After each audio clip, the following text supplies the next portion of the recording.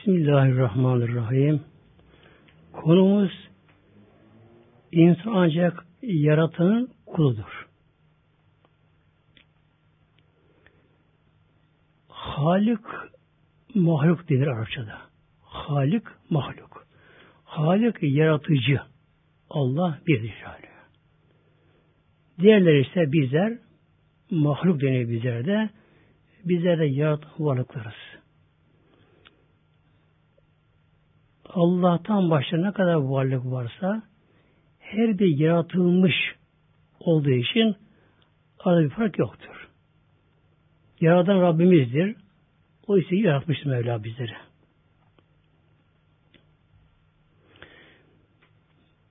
Bakara ayet 21'de buyuruyor Mevlamız Rahim Ya eyyühen nâsü budu rabbeküm Ya eyyühen nâsü Buradaki ya uyarı. Yani ey insanlar Mevla buyuruyor. Bu bütün insanlığı kapsıyor bu. Mesela ibadetlere gelince ey müminler diye hitap ediliyor. Çünkü namaz olsun, oruç olsun onlar ancak müminlerle bağlı olduğu için bunu Mevlam buyuruyor. Ey insanlar! Ü'budu rabbeküm Rabbinize ibadet ediniz Mevlam buyuruyor. İbadet abd kökünden geliyor ki abd da kul demektir. Kul. Kul nedir? Eskiden tabi köleler vardı. Köle efendisinin emrindedir. Yat yat kalk kalk. Burada bu da ubudiyette yani kulluk kökenden gelir ki allah Teala Mevlamıza insanın kalben, bedenen, ruhan tam teslim olması demektir. Yani kul budur. Namaz da kulluktur, oruç kulluktur ama bunun dışında da bir insan her zaman, her yerde allah Teala'nın kulu olduğunu hatırlaması, bilmesi gerekiyor. Yani insanın yaşantısını buna göre uygulanması gerekiyor. Şimdi nedenine gelince bunu Mevlam buyuruyor. Ellezi öyle Allah Celle Celaluhu halak akın o sizleri yarattı Mevlam buyuruyor. Yaratan Mevlam. Demek ki bir kişi yaratanı bırakıp da eğer yaratana kulluk ederse bu nedir? Akıl, mantık işi değildir. Çünkü bir insan ne kadar yeteneği olsa bile bir kişinin elinde bir şey yok ama öyle yaratılmıştır o kişi. O kişi öyle yaratılmıştır. Elinde bir şey yoktur. Yine Mevlam Bezira buyuruyor Bakara 28'de Rahim Keyfe tekfure billahi Sizler Allah'tan nasıl inkar edersiniz Mevlam soruyor sizler ey insanlar allah Teala'yı nasıl inkar edersiniz?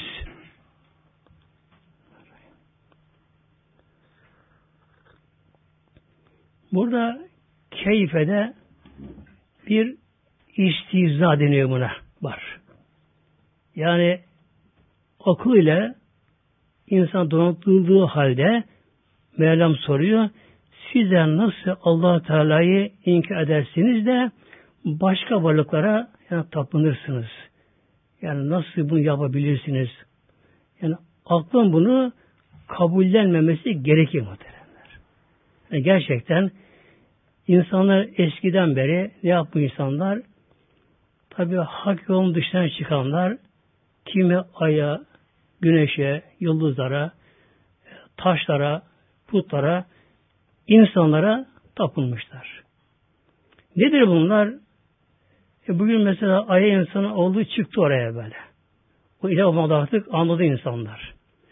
Yine günümüzün çağın insanı güneşe tapınamıyor şu anda. Güneşin ne olduğunu biliyor.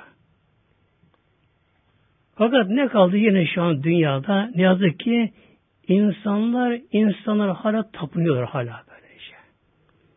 Evet işte filan kişinin şu yeteneği varmış, şu işi yapmış, başarmış her insanın mesleğinde başarı sahibi olabilir. Ekonomide olur, askerde olur, tıpta olur, hukukta olur. Olabilir bu şekilde böylece. O kişinin haşa e, putlaştırması mı gerekiyor kişinin böylece?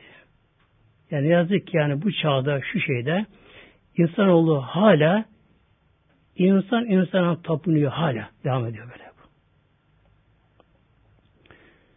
Burada Rabbimiz soruyor bakınız. Keyfe tekfurune billahi. Nasıl olur da siz insanlar Allah'ı inkar edersiniz de başına tapınırsınız. Ve kuntum enbaten sizler ölü idiniz böyle bir. İşte ölü idiniz. Biz de daha önceden ölüydük. Yani yok değildik, vardık, vardık ama ölüydük. Nasıl ölüydük? Ölü toprak maddesiydik biz de. Toprak maddesi. Elementerdi toprak içerisinde böyle. Ayaklar altına çiğnenen. Hayvanın işlediği yani böyle bastığı yerlerde bir topraktı bir zamanlar böyle. Önceki e, ziraatçılar bir tabi sürdü de tarada bizleri bulutlarla, öküzlerle sürdü bizleri. Ekte biçte bu şekilde. Demek ki önceden bizler ölü idik.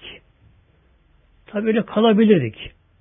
Yani bir toprak olarak, element olarak öyle kalabilirdik de. Öyleydik. Fe ahyâküm Allah sizleri, Allah bizleri ne yaptı? İyi etti. Hayatlandırdı. Hayat verdi bizlere. Hayatı Rabbim verdi. Hayat bir sır ilahidir. Ancak Allah'a özelir bir vasıftır. Allah Teala bizi ne yaptı? Allah bizi canlandırdı. Allah bize hayat verdi, can verdi bizlere. Yani şu anda demek ki insanlar, dünyada bulunan insanlar şu anda elhamdülillah hayattalar, hayattayız şu anda. Ama arkamıza baktığımızda geçmişimize ölüydik. Yani ölü toprak maddeleri idik. Bizi Rabbim insan yarattı. Şu hayattayız. Ama kalıcı mıyız? Hayır işte. Yani bütün mesele bu mudur? Böyle. Yani geçmişte bakıp, geleceğe bakıp bir bağlantı kurmak böyle. Bağlantı kurmak. Geçmişimiz ölüydü. Şu anda dünyadayız. Her insan yaşına göre tabi şu an dünyada bebek de var, çocuk da var, genç yaşlı da var, hasta da var, sağlam da var. Şu anda hayattayız ama kalıcı mıyız? Hayır. Sümme yumitüküm. Allah bizi öldürecek. Yani öldürecek böyle. Yani her bir hakkında, hakkımızda ölüm fermanı kesinleşmiş bak hakkımızda böylece. Vakti takdir edilmiş. Ölümün yeri de belirli takdir edilmiş yani. Bir insan nerede ölecek? Bu belli adam.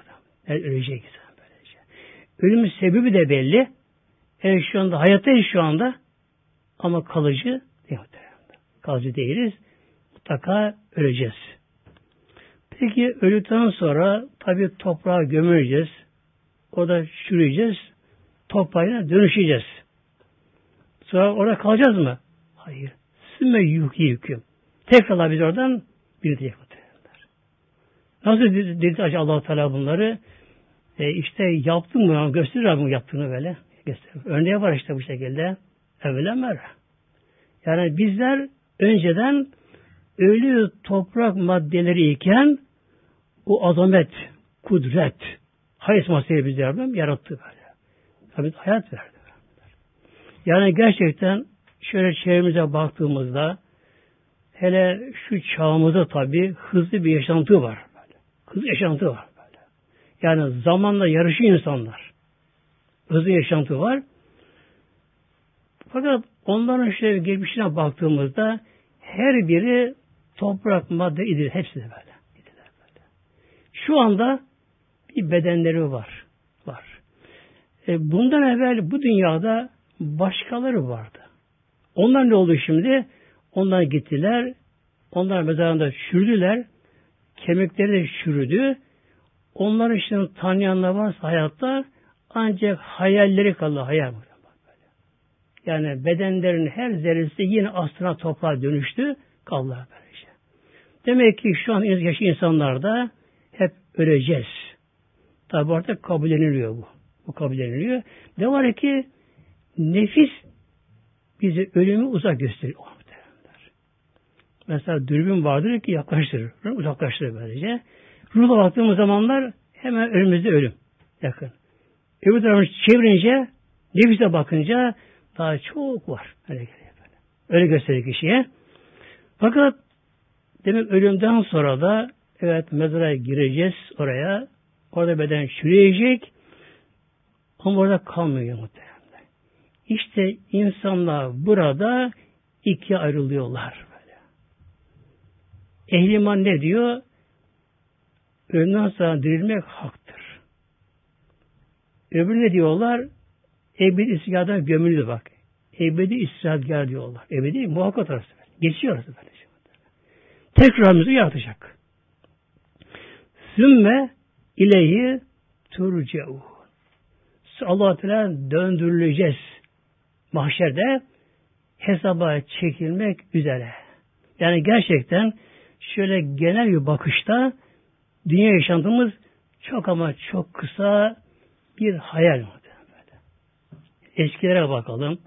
Mesela binlerce yıl önce dünyaya gelenler, dünyaya sığmayanlar, dünyaya paylaşamayanlar, böyle, savaşanlar, şunlar, bunlar, kavrundan hiç zenginler. Peki ne oldu mu? Ne oldu bunlar böyle? Dünyada kaç yıl kaldı ki dünyada böyle? Kaç bin yıldır şimdi toprağa dönüştüler, oradalar mahşere bekliyor Yani o genel bir bakışta dünya hayatı insanın çok ama çok kısa bir hayat böyle. Çok kısa hayat. Zaten bunun da bir kısmı şuna buna geçiyor. Okuna geleceğim inşallah inşallah.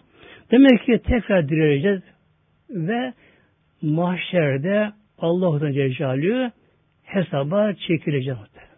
Ne olacak orada yaşantımız? Oradaki hayat başka hayat olacak. Fakat burada hayatının devamı olacak. Yani burada insan nasıl yaşamışsa o ona bağlı olacak böylece. Aynen uyku da buna benziyor böylece.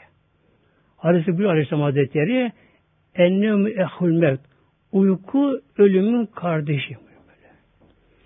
Uyuyan kişi genelde rüya görür insan. Nasıl rüya görür? Neyse yaşantısı onunla ilgilidir. Bilinçaltı olsun, ruhsal olsun böyle. Yani bilinçaltı kişi mesleğin işinde. Onlar hatırlar rüyasında. Bir de ruhsal rüya da vardır. Gerçek rüya da vardır. O da neye bağlıdır? Eğer kişi imanlı, inançlı, tekva kişi ise güzel rüyalar görür. Böyle. Güzel rüyalar görür. Böyle. Yeşillikleri görür, dağlı tepeleri görür, gök uçtuğunu görür, Medine Mekke'ye gider, evli ruhlarını görür, onları görür böylece. İşte aynı şekilde demek ki oradaki hayat, mahşer hayatı da bu yaşantımızın devamı olacak. Öyle hayat ki ama sonu olmayan, sınırsız bir hayat olacak. Hayat olacak böyle. Oradan baktığımızda, oradan baktığımızda dünya ne olacak? Yevmün evbadı yem olacak orada. Yani bir gün mü, bir gün bir kısmı mı dünyada kaldık böyle. O kadar kısılıyor oradan bakınca böyle. Oradan bakınca işte bir de oradan bakmamız gerekiyor kendimize. Buradan bakarsak tabi dünya bizi oyalayabiliyor böyle. İnsana bakıyoruz. Şuna buna bakıyoruz. Hızlı bir dünya. Hareketli bir dünya çağımız. Hızlı bir dünya. Yetmiyor zaman yetmiyor. Koş koş koş koş. Ama insan ne kadar koşacak muhtemelenler. Nice gençler de gidiyor ya böyle. Yani bunu bile yaşı da yok böyle. Ama kaza oluyor, ama sebep oluyor, bir şey oluyor, oluyor bir sebep oluyor. Nice gençler de ölüyorlar. İnsan kendini bir anda kabirde buldu, bulacak, dünyada hayal olacak. Olacak. Kesin bu. Kesin bu. Kesin bu. Tamam ölen kişi ölüp de kabirinde ölü toprak olarak kalsa iyi ya. Ama kalmıyor. Oradan bizi kaldıracaklar.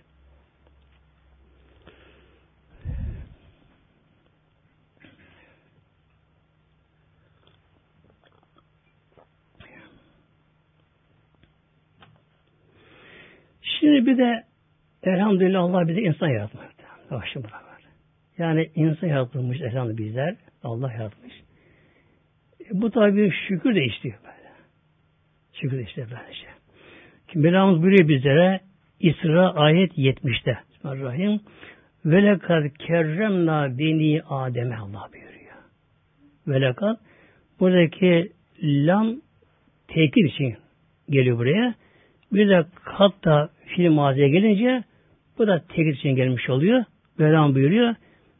Adem olduğunu mükerrem, kerametli kıldık yarattı Mevlam buyuruyor. Yani insanı Allah böyle saygın, değerli, üstün yarattı Mevlam buyuruyor böylece. Ee, insan yüzünün halifesi. Nedir halife? İnsan her şeyi hükmedebiliyor. Her şeye böylece. İnsan atomları da patlatabiliyor. Hayvanların hükmedebiliyor. Her şeyi yapabiliyor insan yeryüzünde. Allah verdiği içerisinde. Bir de diğer canlılara bakalım şimdi. Nur ayet 45'te Rahim. Vallahu halakakü da min ma'in. Mevlam bir Allah her dabbeyi canlıyı sudan yarattı. Halaka külle dabbeti min ma'in. Dabbe devi beden geliyor ki hareket eden. Yani ne kadar insan olsun, hayvan türleri olsun her bir şey anlatıyor bizi, hepimizi. Neden yarattı? Min ma'in sudan yarattı. Su. Evet toprak fakat kuru toprakta hayat olmuyor. Yani hayatın sırrı suda. Ama yağmur suyu. Yağmur suyu böyle. Bu yağmur suyu gelirken hele ilk baharda bilhassa ki çok hayat değişiyor böylece. Şirin çakması, gögürlemeleri, e, gaz, o gazların böyle parçalanması, şunları, bunları e, saf su gelmiyor yeryüzüne. İşte her canlının yarattığı için anahtarı su. Su geliyor. Su ne yapıyor? Su her temel ettiği maddeyi açık eritir, çözümler. Eritir böylece. Yine bir kimyasal işlem orada yer altına başlıyor böylece.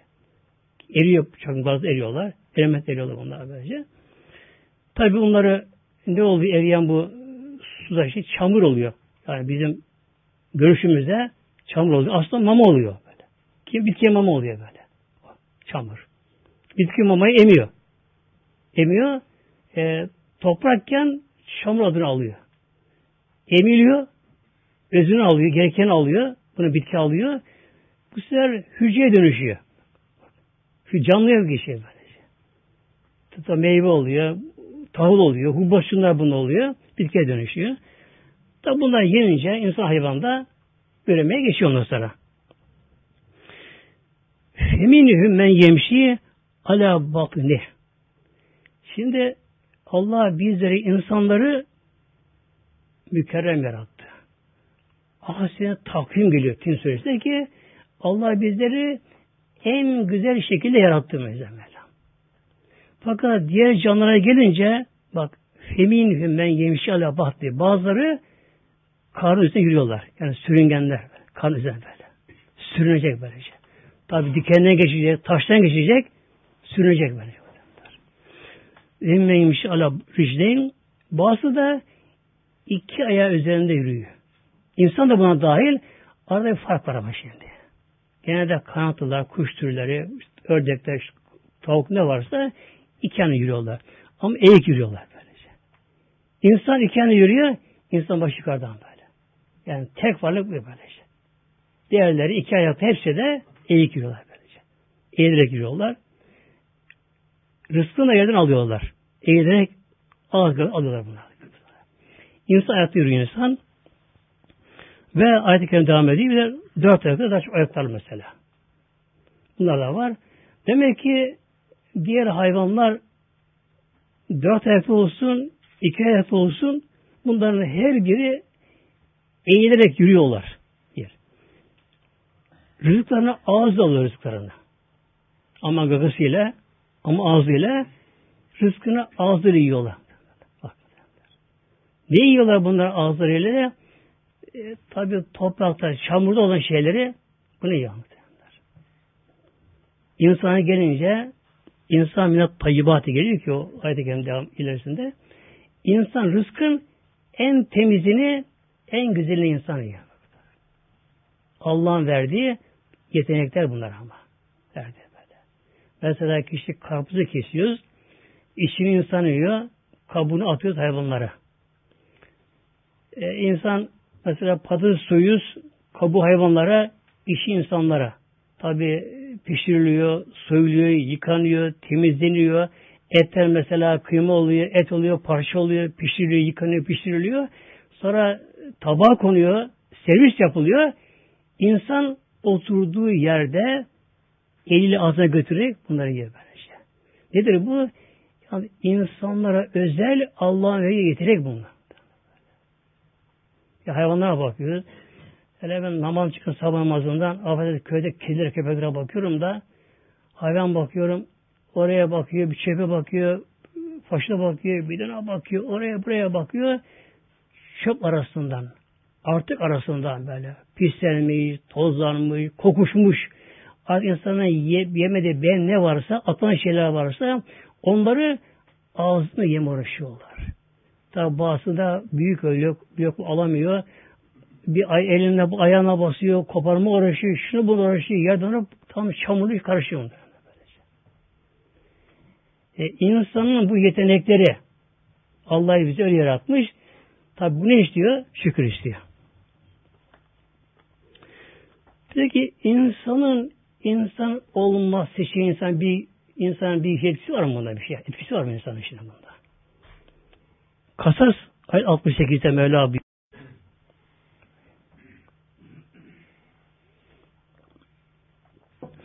Ve Rabbüke yahluku ma yeşâ ve yahtar. Ve Rabbüke. Senin Rabbin.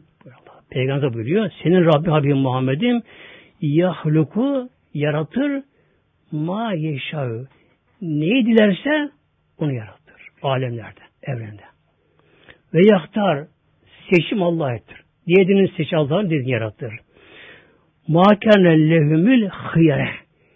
İnsanların hiçbir seçeneği yoktur.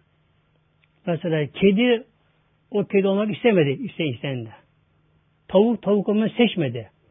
İnsanlar da insanları seçmediler. Yani seçim hakkı Allah'ın cezali böyle. Allah öyle dilemiştir. Demek ki bizim Mevlam dileseydi allah Teala bizleri de bir akrep olurduk, kurba olurduk, e, solucan olurduk, böcek olurduk. Abinin köpek olur bize yapılır böylece. E bunda bizim bir etkimiz yok. Şu halde ne gerekiyor bu tabi? allah Teala'ya şükür gerekiyor ki bu da nedir? Şükür de kulluk. Yalnız dille şükür de yetersiz. Çünkü Mevlam buyuruyor İ'melü ale Davud'e şükra Mevlam buyuruyor. E Davud ehli şükrü amelle şükrediniz. Amelle. İ'melü amelle. Nedir bu amelle değil mi? Yaşayarak böyle. İşte en başta namaz geliyor işte böyle. En başta namaz geliyor.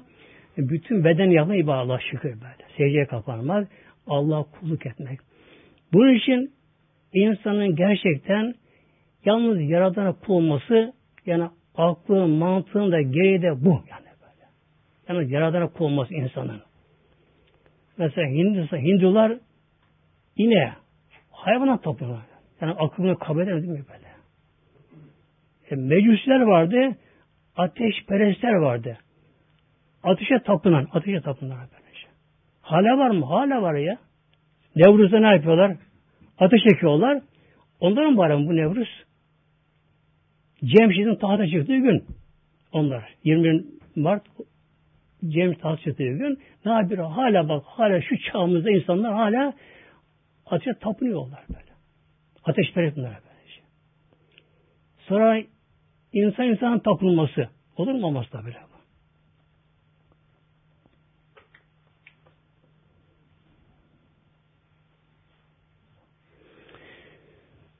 İmanın kuvvetlenmesi için ne gerekiyor?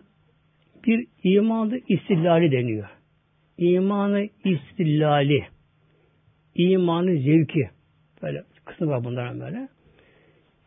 İmanı zevki İslam'ı yaşayarak ihlas ile ibadet aldığı zevklerle imanın kuvvetlenmesi anlamına geliyor.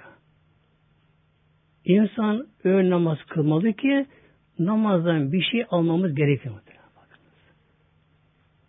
Eğer namaz kılan kişi namazdan bir şey alamasa, yalnız kalıp şekilde bedende kalsa o, namaz borcunu öder. Onun iş adamı göremez. Ama tabi sevabı çok ama çok az olur. Ancak onda biri. Çünkü ona göre hadise geliyor.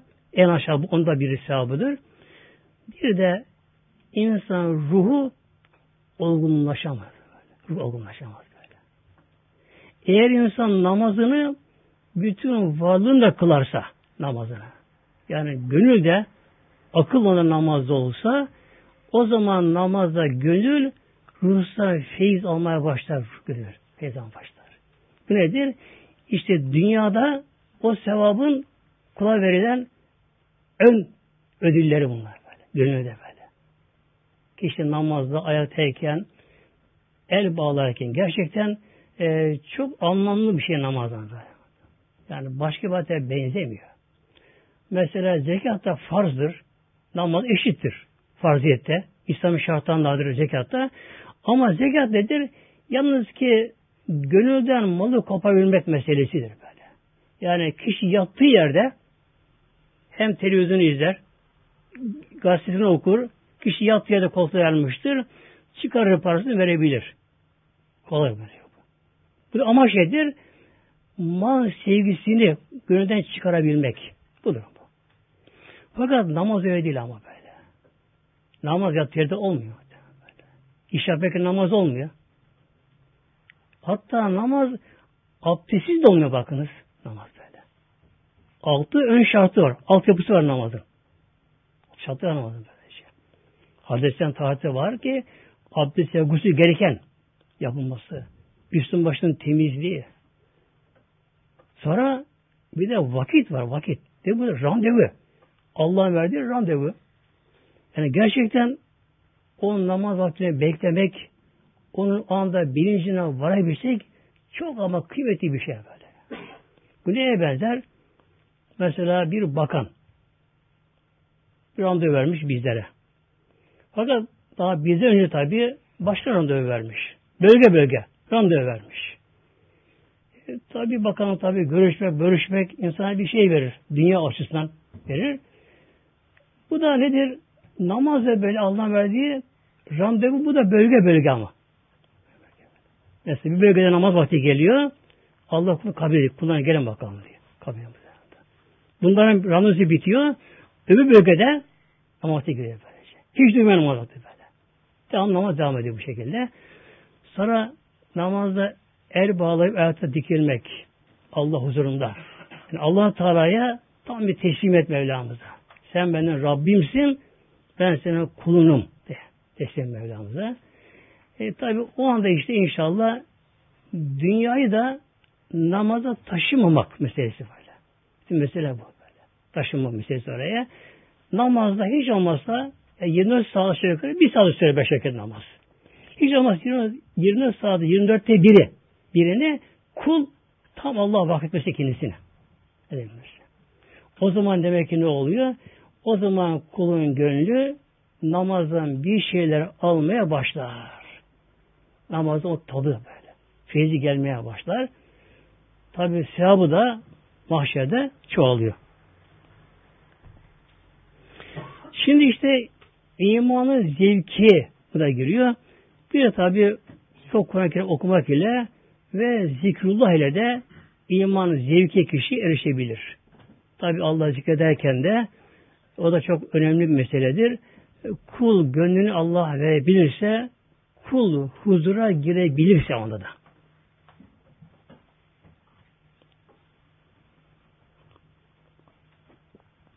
Bir de imanı istilali vardır. İmanı istilali. İmanı zevki tatlıdır. Kişi cezbeyle şu olabilir çabuk ama kesinti olabilir, yani düşebilir kişi bir anda. Böyle. Bir de iman istillali, istillal delilleriyle araştırmak şekilde kul tamamen buna gönlünün inanması inanması bu da iki ayrılıyor böyle. Biri afaki deniyor, bir de enfüsü deniyor. Öyle inşallah afakiye bakın kısaca.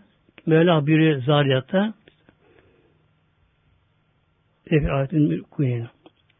ve fil er yeryüzünde ayetün ayetler var. Kimler için? lil mukinin ikan sahipleri. Yakın ermek isteyenler için bunlar için. Nedir? İmana yakın deniyor buna. E, hakkal yakın. Bunun en üst derecesidir böyle. Önce ilmel yakın denir. Bilimsel olarak kişinin inanması. Bu da ilk örnek ben aldım şimdi inşallah Kur'an-ı Kerim'den. Bu iman istilali de afaki bölümünde. Şimdi dünyada yaşarken önce bize tabi su lazım. Su. Su olmasa hayatta olmuyor. İçmek için de gerekli. E, bitki için de hayvan için de su şarttır muhtemelenler. Bak ki nedir bakın su? Mümin ayet 18'de Mevlam buyuruyor. Rahim. Ve enzel mines semai maen bak. Ve enzelna mines semai maen.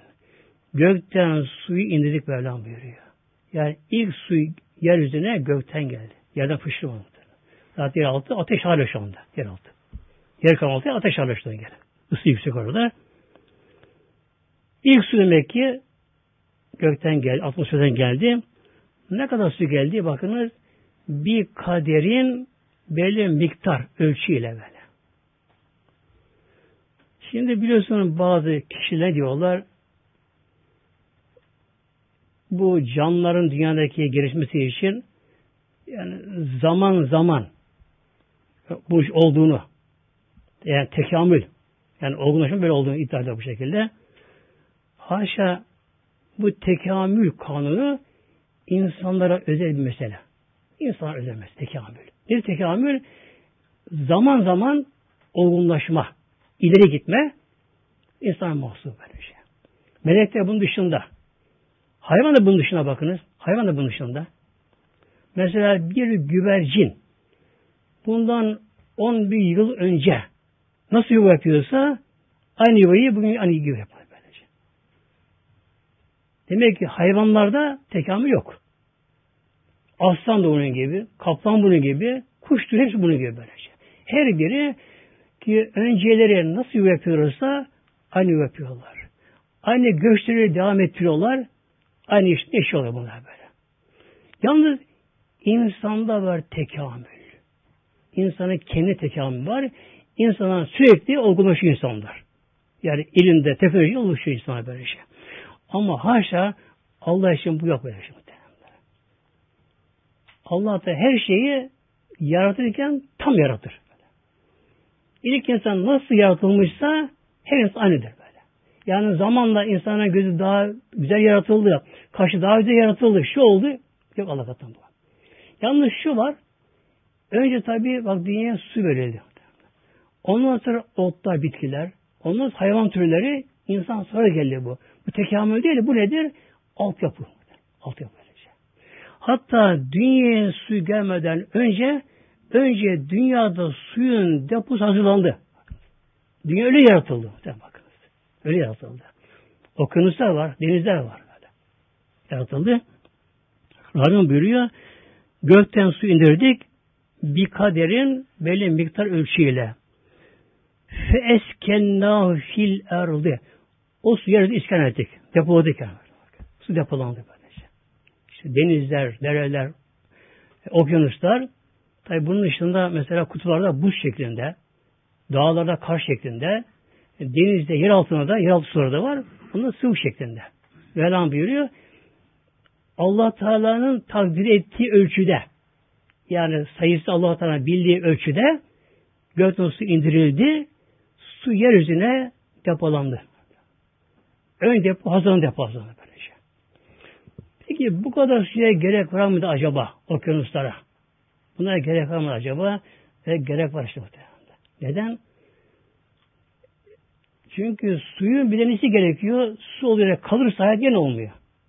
Suyun bir temizlenmesi gerekiyor. Suyun çevirisi gerekiyor. Dolaşımı gerekiyor. Dolaşım niye gerekiyor? E, suyun buharlaşması gerekiyor. Demek ki az olsun, gölde olsun yetmez buharlaşmaya. Böylece. Bunun buharlaşması gerekiyor. Peki su nasıl buharlaşır? Isı enerji lazım buna. Hangi enerji bunu okyanusta ısı verebilir? Allah'ın yarattığı güneş. Güneş böylece. Enerji geliyor. Mesela toprak güneş ısısını emmez fazla. Altı serin olur toprağın böyle. Su daha şeffaftır. Emmer altına geçirir. Enerji altına geçirir. Denizlerde ne oluyor? Göllerde ısınma oluyor. Güneş enerjisiyle ısınma oluyor. Buharlaşma oluyor. Ne zaman oluyor bu? Şimdi su kaynayınca 100 derece kaynayınca bu hızlı buharlaşma olur. Gözle görülür. Fakat 20 derecede yine buharlaşma olur böyle. Hafif buharlaşma olur. Çok şeffaf olur ve gözle görmez bence. Buharlaşma oluyor. Su ne yapıyor? Yukarı çıkıyor. Tabi hafif su buharı havada hafif oluyor. Yukarı çıkıyor. Şimdi bakın Allah'ın kudretine bakın Yani konu iman istillali. İmanın kuvvetlenmesi böylece. Şimdi bu su buharı sürekli yukarı çıksa, çıksa çıksa tabi ne olur sonunda atmosferi geçer, uzaya kaybolur gider. O zaman ne olur dünyadaki su? Biter tabi zamanda. Hayır ama çıkamıyor. Soğuk tabakaya geliyor, orada durduruluyor böyle. Ama öyle bir tabaka ki yerde indirmiyor böylece.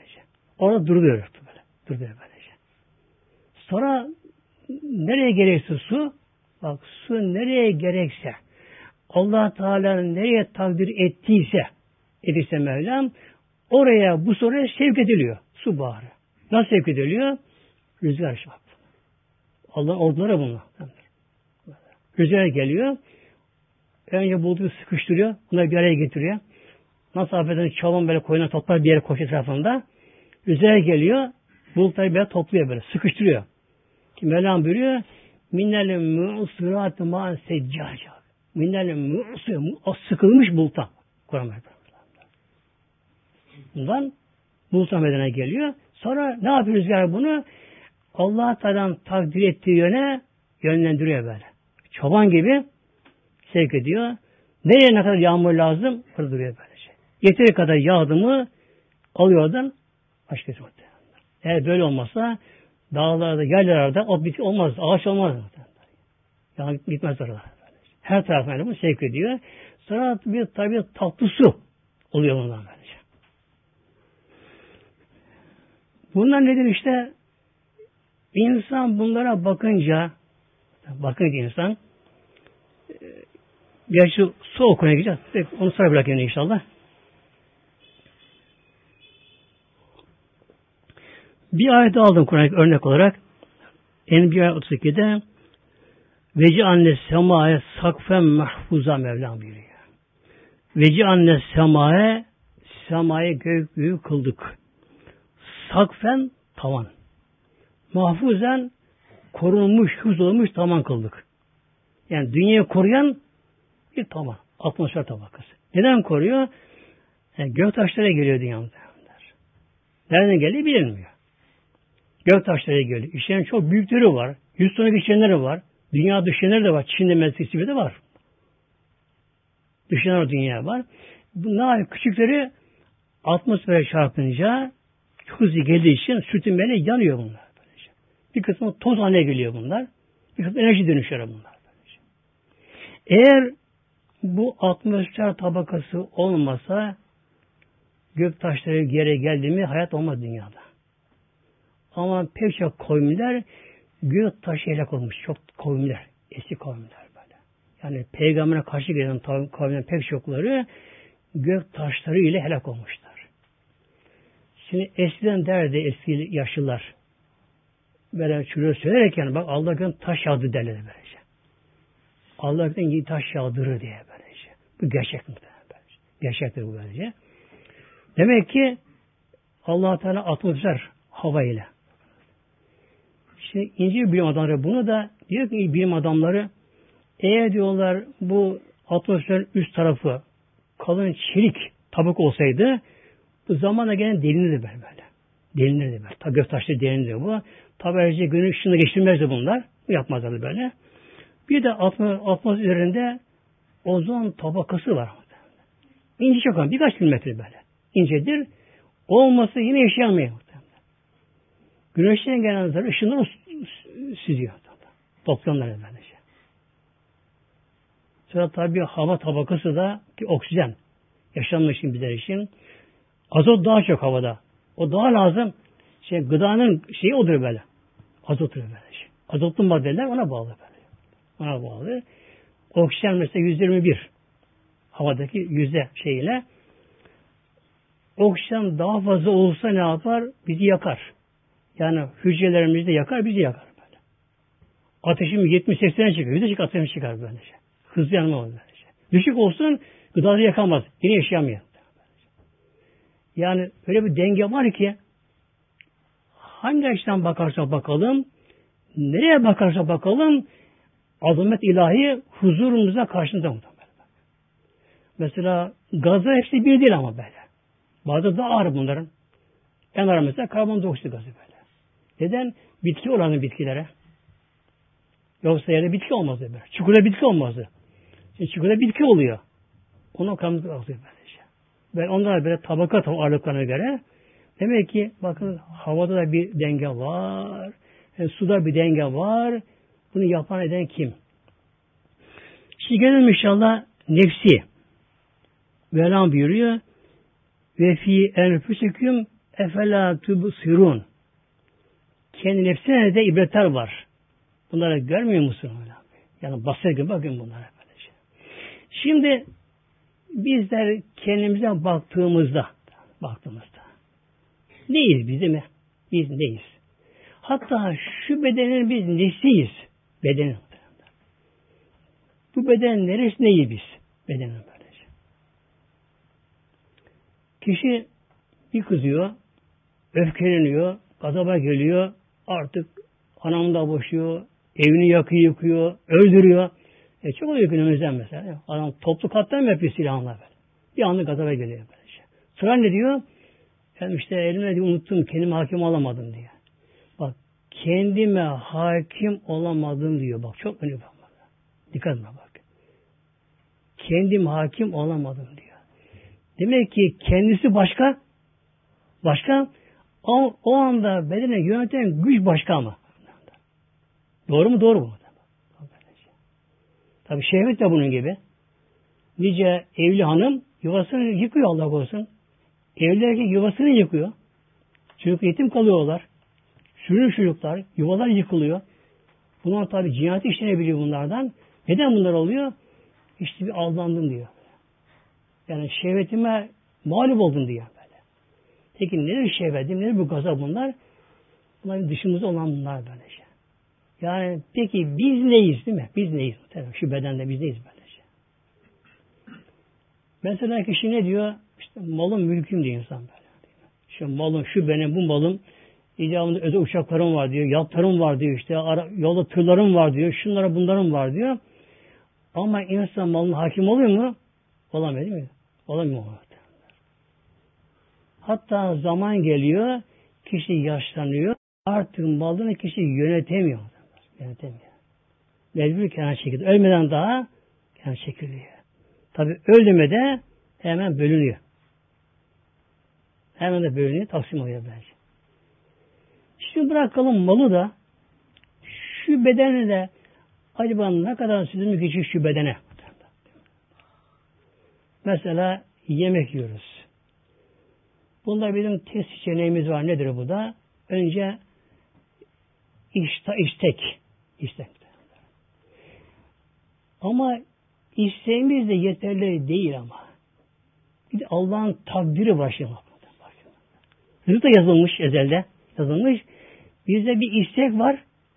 Allah'ın takdiriyle örtüşürse onu yer muhtemelenler. Kişi isteği var. iştahı var. Hatta affedersin obur kişi böyle. Yiyecek ama alma imkanı yok. Alamıyor böyle. Bakıyor, görüyor, imreniyor ama pahalı geliyor, şey geliyor alamıyor böylece. Öbürü de niye alamıyor? Ona da yasaklanmış ona da. Sakın ha. Tuz yasak, et yasak, şu şu yasak. Demek ki insan bir isteği var, bir şehveti var, iştah var kişinin. Bu iştah, şehvet Allah'ın takdiriyle örtüşürse kişi buna yiyebiliyor böylece. Yerken ne yapıyoruz? Ancak ağızda çiğnerken çiğnerken bir damak tadı. Önce de bir görüntü. Mesela bir salatanın süslenmesi, bir pastanın süslenmesi önce göz şöyle bir görüntü istiyor. Eğer mesela bir pasta masa şu bu e, şekilde aynı malzeme kullanmışsa görüntüsü iyi değilse göz bundan hoşlanmıyor. Görüntü istiyor. Ama görüntü ne kadar? Ağzına lokma atıncaya kadar. Kişi en süslü püslü bir pastayı ağzına atıp da onu bir defa çiğnedi mi çıkarıp baksın ya bu muydu benim yediğim şey? Gözün görüntüsü bu kadar böyle. Çiğnerken bir damak tadı bunda böyle. Buradan geçtim kıtadan aşağı, geçtim yerin borusundan, geçtim aşağı, artık karışamıyor. Ne işlem oluyor anda, ne işlem oluyor anda. Bize salgılar salınıyor, onun sindirilmesi için. Şunlar oluyor, bunlar oluyor. Midede ince bağırsak oluyor bunlar. Bunun yararına seç laboratuvarlar çalışıyor, faaliyet. Bunun yararına çalışıyor. Yaramayanı dışa atılacak. Ya dış, dışa atacak bunlar da. Kalın bağ itiliyor, veriyor bunlar da bunlar da. Bunu yapan kim muhtemelen. Biz uyuyoruz ama. Yemek yedik uyuyoruz. Uyurken devam ediyor. E, solunum sistemimiz hele hele solunum sistemi muhtemelen gerçekten akıl duran bir mesele. Yani sürekli hafif soluyoruz. Buna bıkmıyoruz ama. Bıkmadan sürekli yatar uyurken de tuvaletteyken de banyodayken de sürekli hafif soluyoruz. Bıkmıyoruz bundan da. Soluyoruz havayı. Peki ne yapıyoruz? Gaz hepsi ağzımıza geçiyor. Geçiyor. Ama akciğerde ne olmalı?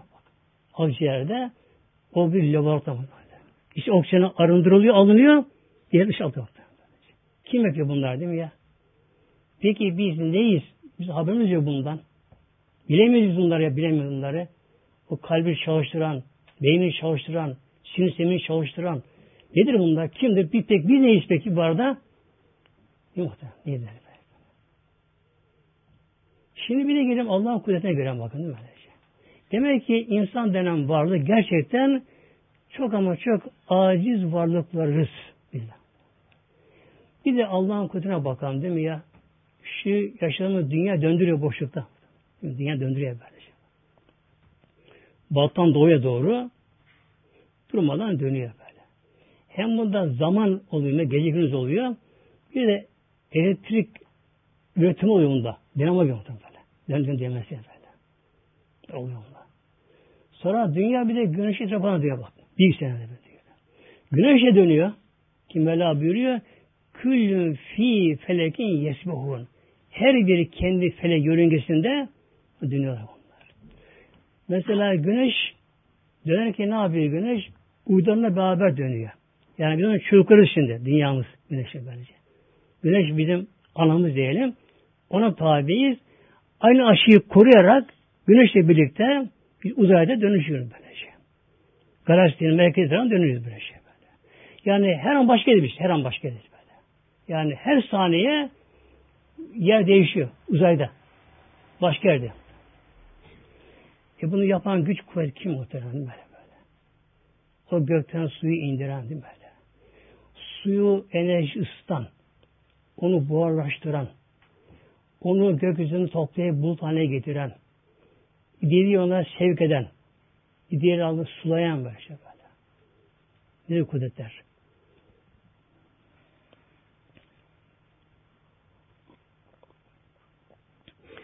Bir evliye sormuşlar Evliyullah'a. Efendim demişler Hazreti Musa'nın asası varmış. Asa değnek, kuru bir değnek, sopa yani.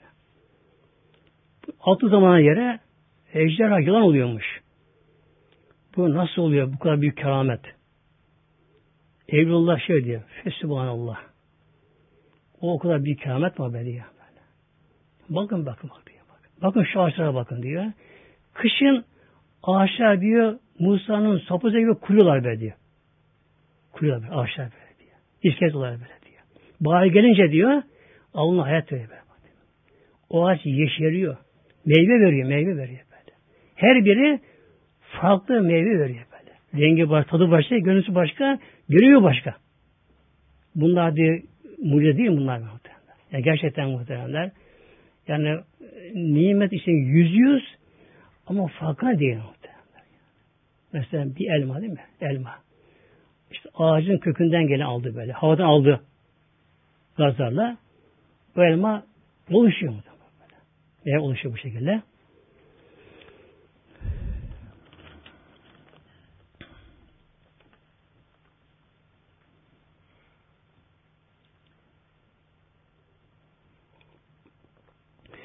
Bir de şeye bakalım inşallah. Rum ayet 54'te insanın aşama aşama yaşam koşulları, dünya gelişi ve öbür alem geçişi. Mevlam buyuruyor. Allahüllezi Allahü o Allah Celle öyle Allah ki bak adama sahibi ki halakaküm min zafin Allah öncele Rabbiniz zayıf yarattı. Zaafta. Yani kul ana karnındayken bebek yani cenin ana karnındayken neydi? En aciz varlık ana karnında. Sonra dünyaya geliyor. Dünyaya geliyor.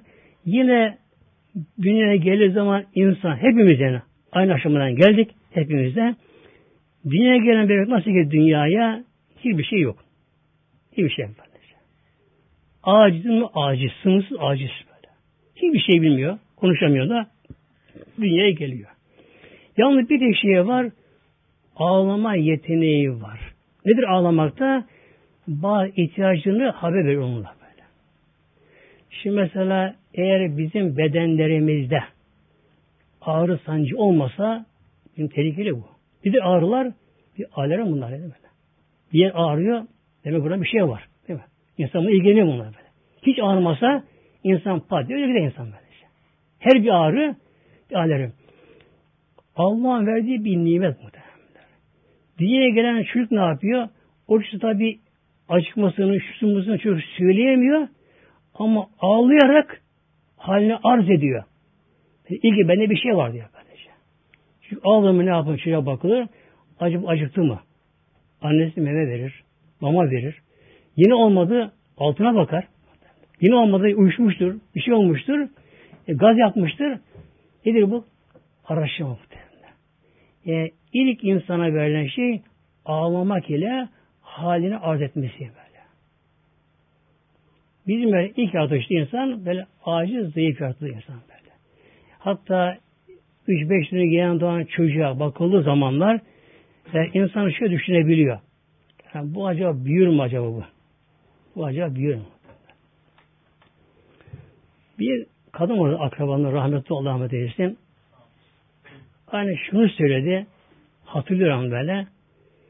İlk oğlu dünyaya gelince ilk evladı erkekmiş dünyaya gelince şöyle baktım dedi. Ya Rabbi bu da insan olacak mı ben? Eli kapalı da şey yapmıyor daha. Bu insan olacak mı acaba? Böyle bir 40 günlük bir olsa bakayım dedim böyle diyor. 40 günlük oldu diyor. Sonra dedim ki diyor bir 6 aylık olsa 6 aylık böyle. Bir yürüse dedim diyor. Yürüdü diyor. Şu anda da 40 yaşında böyle. Bana söylediği zamanlar şu anda oğlum 40 yaşında böyle. Demek ki şu diye geldiği zamanlar son derece zaafta, aciz içerisinde. Aciz mutlak deniyor buna. Takta.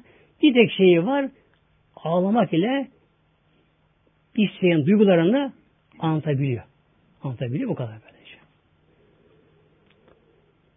Sümme cahmin badi zafin kuvveten. Sonra Rabbim ne yapıyor insana Rabbim? O acizden sonra, zarf, zarfitten sonra kuluna güç kuvvet veriyor. Derken bebek çocuk oluyor. E, okula başlıyor, koşuyor, oynarken e, delikanlı çağı geliyor. Gençlik çağı geliyor. En dinamik çağı, hızlı çağı o çağlara geliyor. Sümme bel kuvvetin zafen ve şeybe. Sonra ondan sonra tekrar o kuvvetten sonra yine kişiye zafiyet, zayıf hali veriliyor, kişiye veriliyor. Yani kişi belli yaşa kadar enerji devam ediyor, belli yaşa kadar devam ediyor. Güç, dinamik, sağlık, sıhhat, zindelik devam ediyor. Fakat yavaş yavaş kişi bakıyor ki eski gittiği yere gidemiyor eski vakti işine bakan bir göremiyor bunları. Bir noksanlaşma oluyor derken ve şeybe yaşlılık hali geliyor insana. Ne zaman geçiyor bunlar? İşte bir hayal gibi şey bunlar. Böylece. Hayal gibi. Mesela her insan şu an düşünse, düşünse ki kendi geçmişini insan düşünse. Tabii herkes hatırlaya kadar gitse, gitse geri, hatırlaya kadar. İnsan geriye gitse. E, insan bir zamanlar, dünyaya gelen kişi neydi bir zamanlar? İşte emekliliğine çalışan, yavaş hayatı durmaya, tarihte durmaya çalışan, annesi çağırıp boşlar, gel yavrum bana mesela, işte bir adım atmazlar, yere düşer. Derken çocuk yürümeye başlar, işte düşe kalka koşmaya başlar, sokağa çıkmaya başlar, okula başlar, şunlar bunlar başlar. Derken yavaş yavaş delikanlı çağına doğru bir tırmanışa başlar. Hele mesela onu 10 yıl önce gören kişi bir yakını 10 yıl sonra gördü mü Aa, bu filan mı bu? Ne zaman büyüdü bu? Şaşırdı kendisine. Derken işte, işte okula gidecek tabii. Okul çağlar, üniversitede imtihanlar, sınavlar, şunlar, bunlar derken herkes askerliği, işte kızın nişanları, çeyizde şunları bunlar derken evlenmiş, çocuk olmuş bir insanlar. Yani ne zaman geçiyor bunlar böyle? Hiç gidiyor bunlar bu şekilde. Sonra ne geliyor arkadan geliyor? Yaşlılık geliyor. Yahluku ma yeşâ. Allah Teala dilediğini yaratır. Ve huvel alimül kadir. Allah Teala alimdir. Her şeyi o bilir. Allah kadirdir. Her şeyin gücü yeter. Ne dilerse böyle. Bu Allah özel bir şey, güç vardır. Yani her şeye gücün yetmesi Allah'a mahsustur. Bugün dünyanın süper gücünün başkanı, ordu komutanı plan yapar, şunu yapar ama plan uygulayamaz. Neden? Efendim hava koşulları müsait değil. Havaya size geçmiyor. Size geçmiyor böylece. Bunlara fıtri kanun deniyor bunlara. Allah'ın iki türlü kanunu vardır. Biri fıtri kanun deniyor bunlara ki fıtrattan, doğaldan. Allah'ın koyduğu kanun bunlar ama. Ama doğadan değil. Çünkü her şey bir kanunla birine bağlantılı ama. Rasantı diyor bence. Yani suyun inmesi, suyun buharlanması, e, atmosferdeki gaz tabakaları, dünyanın ay yıldızlarının yön dönüşleri nedir bunlar? Her biri bunlar bir kurala tabi. Bir düzene bağlı bunlar. Yani alemde, evrende hiçbir şey başıboş değil. Bizlere başıboş değil. Nedir bu da Allah'ın dilinin, vahdanetinin en büyük kanıtı budur. Denge düzen vardır. Nedir bunlar? İşte bunlar fıtri kanunlar. Bunlar değiştirilemezler böyle. Kimsenin buna gücü yetmez. Mesela dünyanın dönüşü hızlandırılamaz, yavaştırılamaz. Hatta mesela günümüzde yumurtaları piriş yapan makineler var. Kuluçka makineleri var. Çok modern makineler var. Nasıl çalışıyor bunlar ama? Allah'ın koyduğu fıtri kanunu hani uygulayarak yakan kişi bence. Yani bir yumurta bundan 10 bin yıl önce tavuk ne kadar kalması gerekiyorsa aynı zamanda o kadar kalıyor gene böyle. Yani bu modern makine hızlandıramıyor bunu. Aynı ısıyı veriyor. Aynı ısıyı veriyor. Yani tavukta ne ısı varsa aynı ısıyı veriyor. Üç haftadır bunun dönemi. Üç hafta devam ediyor böylece. O modern kuşu makineleri hızlandıramıyorlar. Doğum mesela havanın dokuyla doğurmuştur, yiyen dokuyla doğuruyor insanlar. Bu hızlandırılamıyor böylece. Mesela yağmur yağacağını tam tam edilebiliyor. Ama engellenemiyor. Efendim fırtına kasırga geliyor. Meteoroloji haber veriyor. Önlem alınız. Bu yayınlanıyor bu. Halka icabında. Bu gibi şey yayınlanıyor. Halka yayınlanıyor. Peki ama sen devletsin değil mi ya? Büyük devletlersin siz kardeşim. Gücün kuvvetin var. Engellesen şu buluta yürüyüşünü engellemez. Fırtına ki alt ediyor fırtına engellemiyor. Ne de bunlar? Fıtri kanunlar bunlar. İşte bunun bir de nedir? Önce insanın bebek olarak dünyaya gelmesi, sonra aşama aşama yavaş yavaş kişinin gelişmesi, büyümesi, gençlik olmaları. İşte insanların çoğu o döneme aldanıyor. O döneme aldanıyorlar. Kişi gençliği, işte orta yaşlılık bunlar dahil bunlarda kişi o anda onu aldığını kişi sanki böyle kalacakmış gibi hele belli makama gelmişse yetkisi varsa etkisi varsa gücü varsa çevresi varsa artık benim diye zavallı kişi. Ama yazık mı yazık mı? Yani dününe baksın, genceye baksın böylece. Dünü toprak maddeleri idi. Geleceği yine toprak maddesi olacak. O da ölecek. O da yaşlanacak. Bakın bugün tıp bilim yaşlamayı biraz durduramıyor. Durduramıyor böyle. Öyle mesela insanlar var ki hele hanımlar bu konuda çok da hassas hanımlar böyle. Bir zengin hanımlar var ki artık milyarlar hepsini verecek ama belli yaşta kalabilirse yaşlanmasa ama durulamaz. Durulamaz böyle. Ölüm hiç engellenemiyor böyle. Engellenemiyor. Şimdi bir de ne var? Ölümden sonra o kefen var ya kefeni giymek. Mesela bugün aklıma geliyor benim. Baş örtüsüne karşı olanlar diyor. Acaba niye bunlar kefene karşı dediler buna kefene? Yani bu çağdaş insanlar e bir başörtüsü çağa uygun değilse peki kefen çağa uygunmuş çağa? Niye kefeni giyiyorlar? Efendim işte başta dini meseleymiş. E, kefen dini mesele. Ne yapıyorlar? Yine her birisi sonunda yakını öldü mü hocaya teslim ediyorlar. Kim ölmüşse böyle. Ne anlama geliyor bu hoca etmeleri? Yani dinin gereği neyse bunu yapın. Ne de dinin gereği yani şiat budur böyle. En üst makamda olanlar da bunlar. Her birini yapıyorlar? En sonunda hocaya teslim ediyorlar. Dinin gereğini uygulayın yapın diye. Ne yapılıyor? O çağdaşlar da teneşir yatıyor. Yıkanıyorlar. Onlar da o kefeni giyiyor. Ya. Kefen de başı örtülü böyle. Zevkli mevdi yok böylece. Yakası yok. Modası yok. Ya.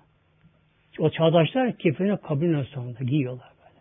Sonra tabuta biniyorlar. Tabuta biniyorlar. Ve cenaze namazda da kırıyorlar bunlar. Peki niye namazı kılıyorsunuz?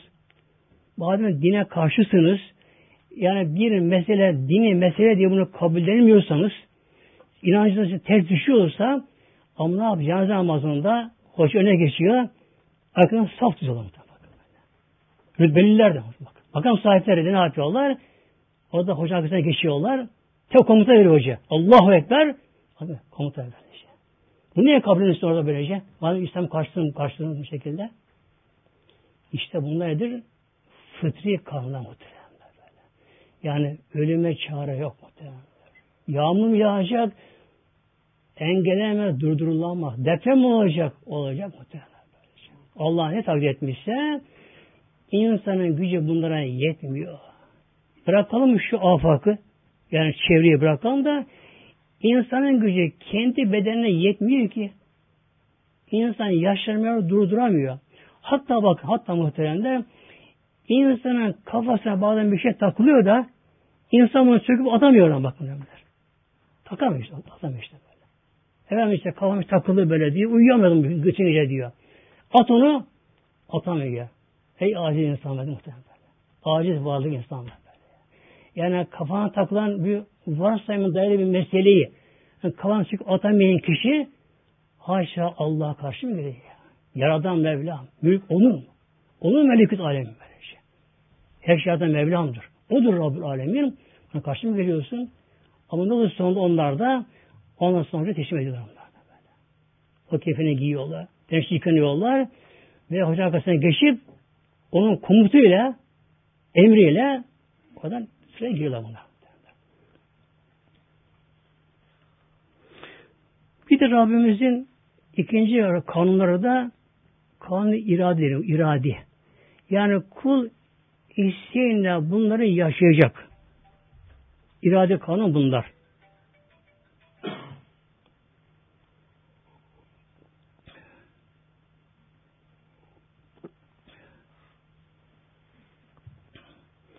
Mesela namaz kılmak Allah'ın emri ilahi kanundur bu namaz kılmak.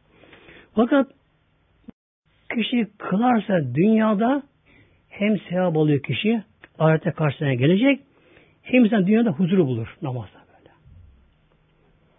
Ne kadar güzel kılarsa yani Allah'ın emri bu ama yararı insan kendisine ama.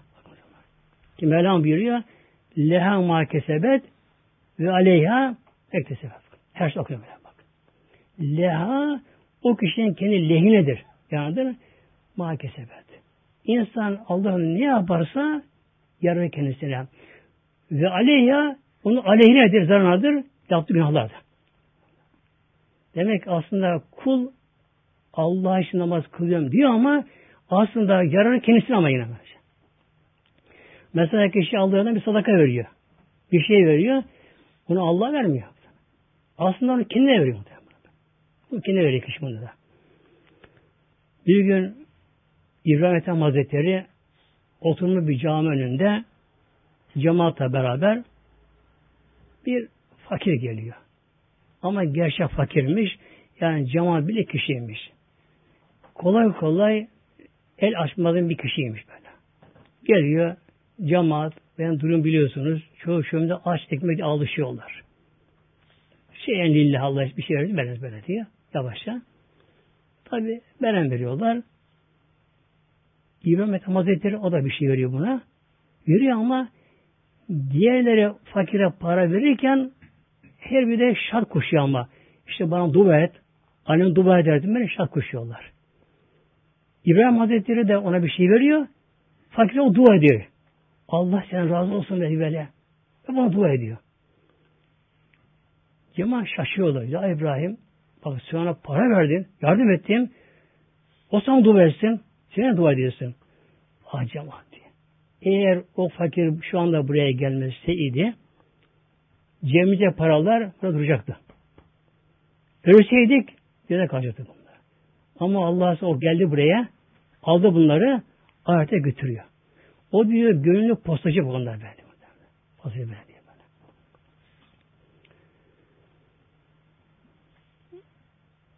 Bir zengin biri varmış.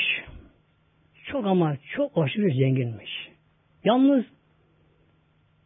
çok da ama avucu sıkıymış. Cimri yani böyle. Aşırı böyle. O kadar ki canın çekti bir şeyi onu alamamış, parasını harcayamamışlar böyle. Aşırı zengin, cimri kendisi. Bir gün bu kişi atına biniyor sabah erkenden bir dolaş havadan bakayım biraz diyor. Bir yolu köy oruyor. Bak köyde bakıyor bir yangın kokusu geliyor köyden. Kokuya doğru gidip bakıyor. Bir ev yanmış, ev tamamen yanmış. Ev halkı oturmuşlar bir hasır üzerine. Çoluk çocuk ağlaşıyorlar.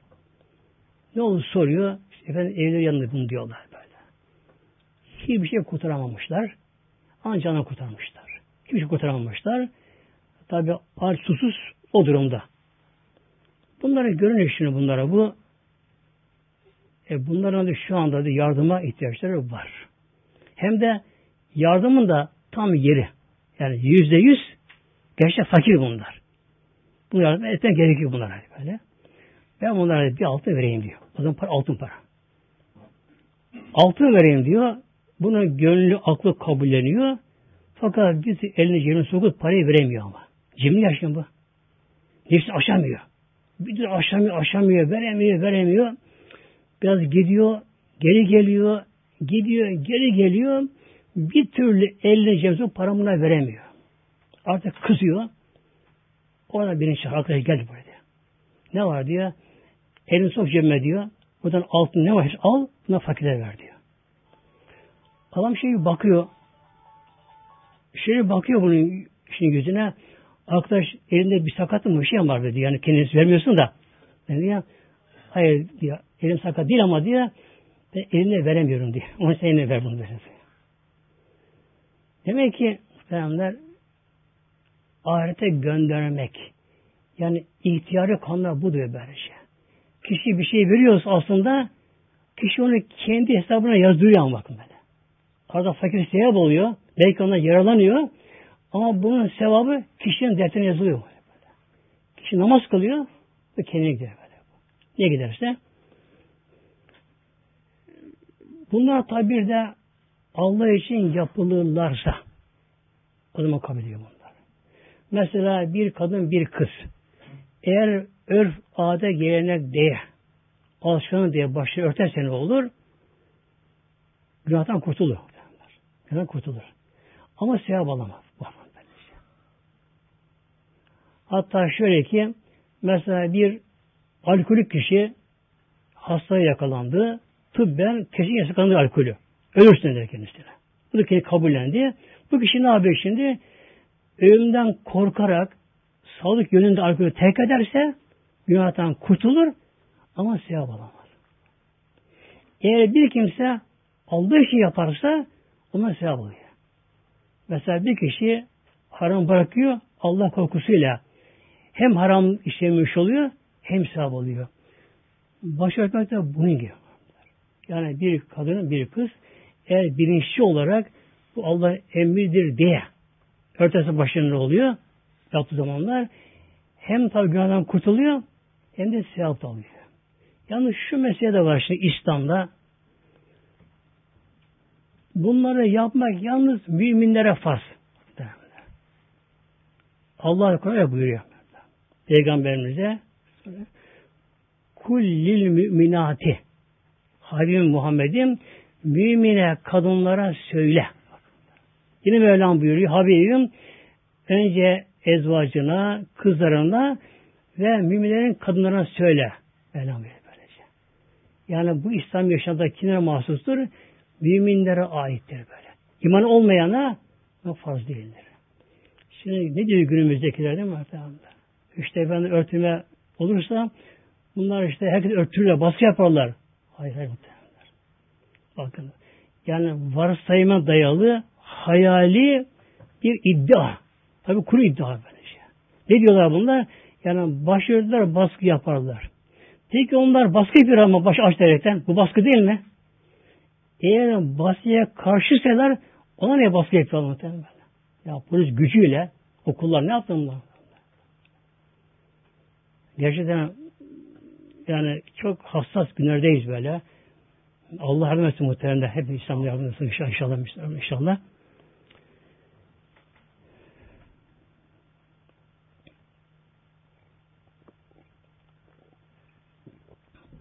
Şimdi inşallah konuyu toparlayınca demek ki insan ancak ki yaradana kul olur.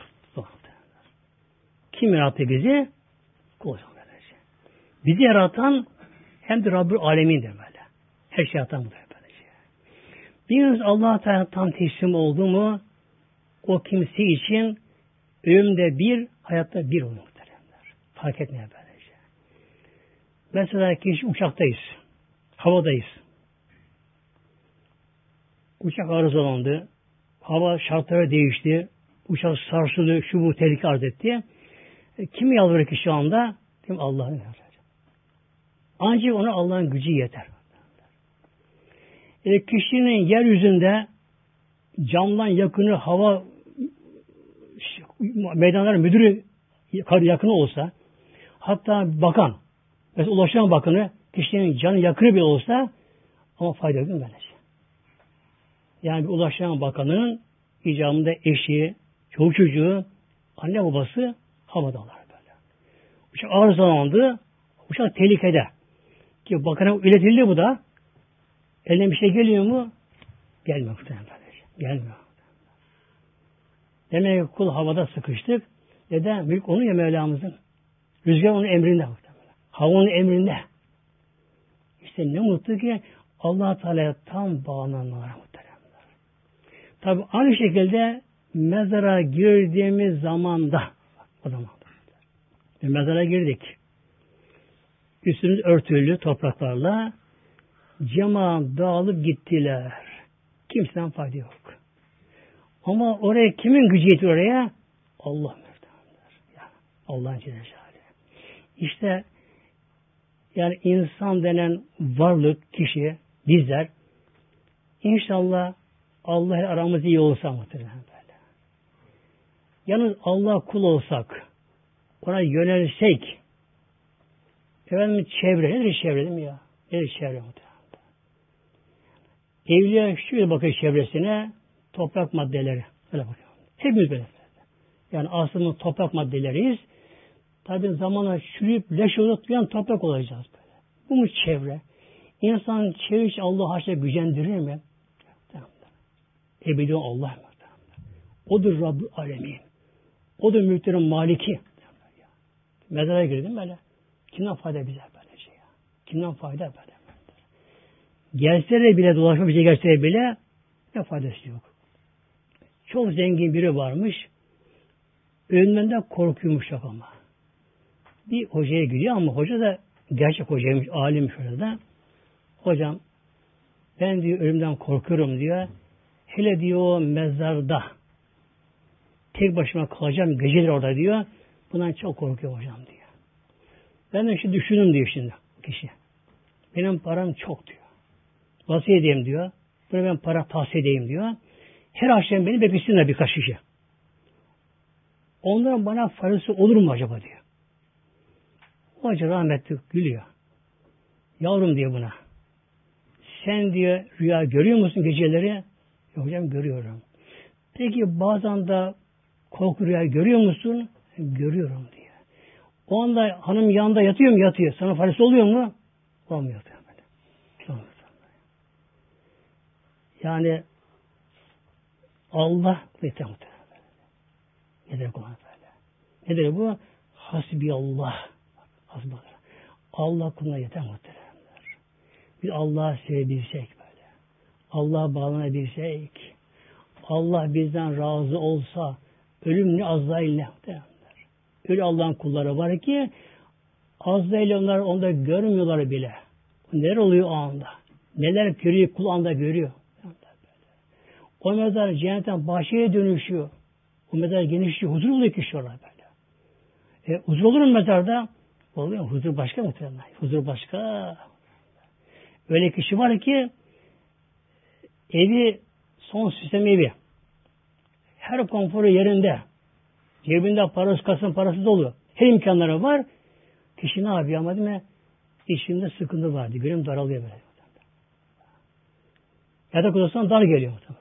Konfor yatak odası böyle yatamıyor. Orada dönüyor, buraya dönüyor, sıkılıyor, yatamıyor böyle. Kalkıyor, salona çıkıyor, geziyor, cam açıyor, bakıyor, yeterli olmuyor böylece. Dışarı çıkıyor, yani sıkıntı. Ne de bu? Ruhsal sıkıntı muhtemelen böyle. Bir Ama Allah öyle kulları var ki bir mağaraya girmiş, başını gözünü yummuş, Allah derken o kadar taz zevk almış ki cenneti huzur orada bulmuş ama. Yani gözle görmese bile huzur bulmuş. İşte kabir de böyle muhteremler. Öyle kişi var ki işte ben öğleden sonra ne olsa olsun diye. İnsan ölmüyor ki ama ya. Ölmüyor insan muhteremler. Ölen nedir? E, beden ölüyor. Yani beden saman ferş olmuş şekilde. Beden ölüyor orada ya. Ama insan beden değil ki ama ya. İnsan başka ruh insan böylece. Sıkılan da ruh işte. Yıkan da ruh anda. Bunun için olgunlaşması dünya. O Allah'a bağlanmak böyle. Yani çevreyi aşmak, nefsi aşmak böyle.